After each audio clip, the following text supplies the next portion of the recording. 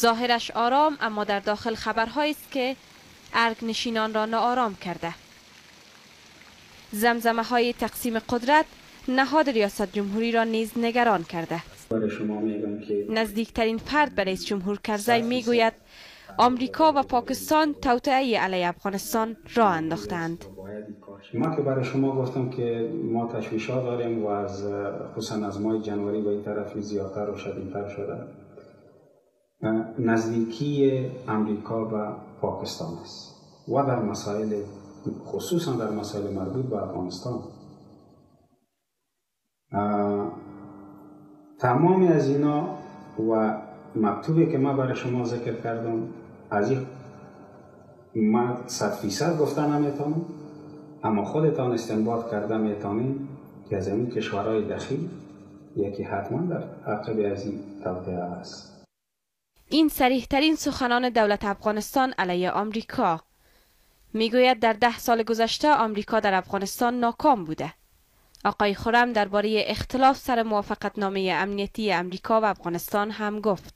قرارداد امنیتی هم با امریکا می داشته باشیم.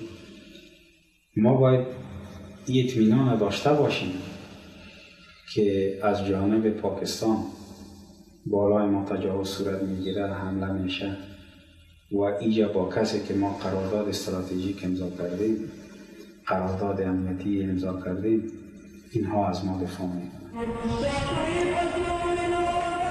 این گام آمریکا و قطر در همکاری با پاکستان دولت مردان کابل را شوکه کرد بعدش هم به شدت مشکوک. گشایش دفتر سیاسی طالبان به نام یک حکومت در قطر رئیس جمهور کرزی را نگران کرده که دیگر آمریکا با او اعتماد ندارد. وقتی که دفتر قطر باز شد و قبل از او اپوزیسیون نشست های متعدد را حلقات و گروه های سیاسی مختلف در کشورهای مختلف با طالبا داشتند در حقیقت اونا به سه مورد اساسی به تفاهم رسیدن بحث اولیش تغییر در قانون اساسی افغانستان بود. بحث دومش تقسیم افغانستان به افغانستان شمالی و جنوبی و بحث سومش تقسیم در سیستم. افغانستان کشور سی میلیونی از ایجادش در 266 سال پیش متحد و واحد بوده اقوام مختلف با زبانها، فرهنگها و مذاهب مختلف در این جغرافیا زندگی می کنند.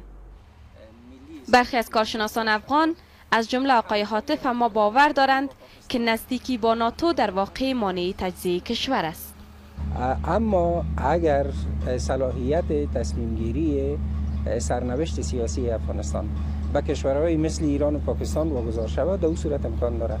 که برخیدی می کاملا از امکان بعید است. ناتو در اینجا ماموریت 12 ساله داشته و هیچ هم نمی‌خواد این ماموریت به ناکامی بیانجامد. افغانستان روزهای سرنوشت سازی را پیش رو دارد. بازیگران داخلی و خارجی با اهداف متفاوت گاه هم مخالف در اینجا حضور دارند. بسیاری در اینجا می‌پرسند که در چنین شرایطی به کی می‌توانند اعتماد کنند. بهار جویا بی بی سی کابل.